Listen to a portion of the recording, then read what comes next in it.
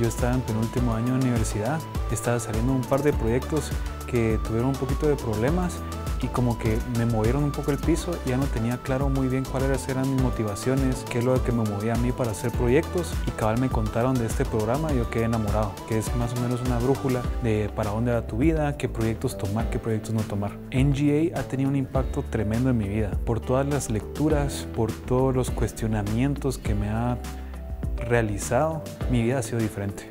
De temas desde la felicidad, qué es lo que me mueve, qué me llena, básicamente. Yo antes del programa miraba el éxito como algo material, como una meta que alcanzar,